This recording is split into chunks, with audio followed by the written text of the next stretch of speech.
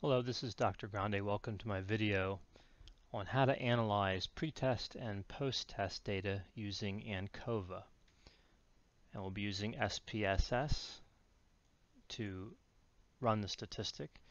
So I have here an SPSS data file of a uh, that represents a fictitious experiment. I'm going to explain these different variables. So first we have ID number. We have 80 participants in this experiment. Then we have a grouping variable, and we have two, two levels of this grouping variable. One is control. We have 40 in the control group, and the other is treatment. We have 40 in the treatment group. So let's uh, assume for the purpose of this video that the control group uh, receives no treatment, and the treatment group receives treatment for depression. Then we have a pretest score. So this would be uh, a measure of depressive symptoms that was given before uh, any treatment. And then we have a post-test score. So this would be the same measure, uh, a measurement of depressive symptoms given after the treatment. And of course, if um, if this were a real experiment, you know, what we would hope is that uh, the treatment would be effective. Therefore, the post-test scores uh, for depression would be lower uh, than for the control group. So what the ANCOVA will do is it'll control for the pretest values. And let us look at the post-test values and see if there is a significant difference between the control group and the treatment group. So again, we're looking for a statistically significant difference between the control and treatment group, while con the control and treatment group on the dependent variable, on the post-test value, while controlling for the pre-test value.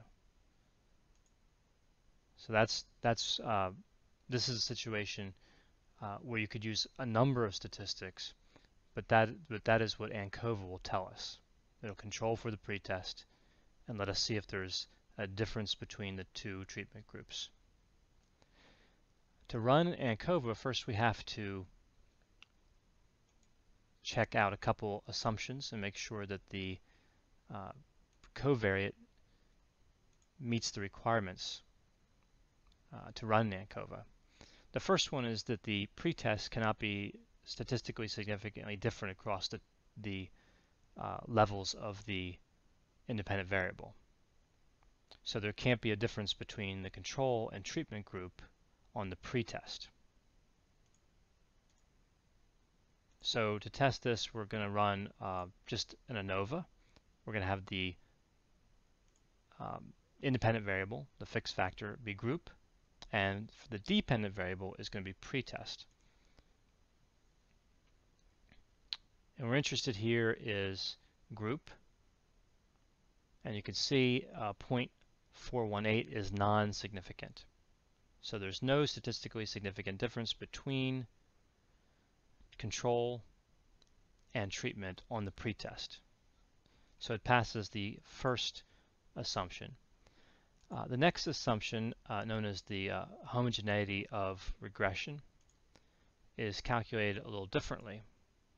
Uh, the variables are put in the same way as if we were running in ANCOVA. So you have a dependent variable will be post-test, the covariate is the pretest, and of course the independent variable is group. The difference is we're going to change the model. We're going to look at group and pretest. And you can hold down control and get both of these and we'll look at group times pretest. This is actually the one we're interested in.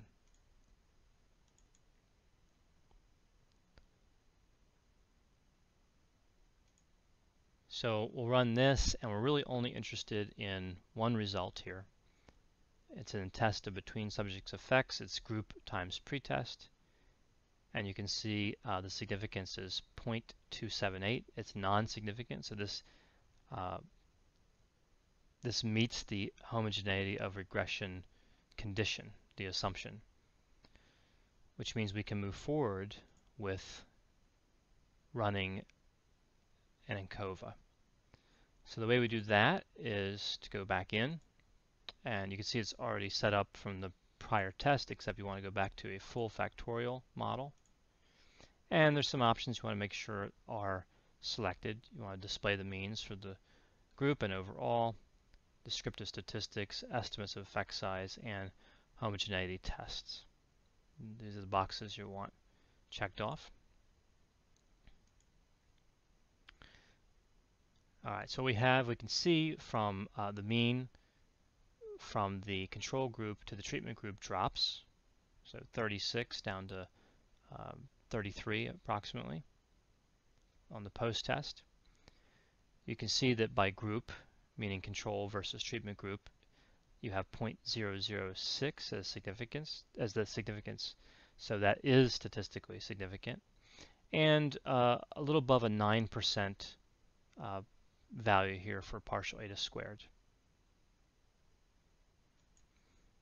So the membership in one group uh, versus the other uh, explains about 9% of the movement in the, the uh, dependent variable, in this case the post-test. So what you want to remember when interpreting this output is this this output is based on controlling the pretest value. So when controlling for the pretest, there is a statistically significant difference between the groups on the post-test. And here, just a quick graph uh, showing the drop in the score. So that is how you um, test for the assumptions of an ANCOVA and run an ANCOVA and the, the circumstances I've explained in which it's appropriate. Uh, you want to think of the research question uh, that you're asking uh, when you choose an analysis because as I mentioned there's many choices uh, in looking at pre-test and post-test data, there's many statistics you can choose from. Uh, the ANCOVA is a fairly powerful statistic. It's fairly straightforward to run, but it only answers that one research question, which may not be the research question that you're asking, which is, after controlling for pretest, is there a statistically significant difference between the levels of the independent variable? I hope you found this uh, video helpful.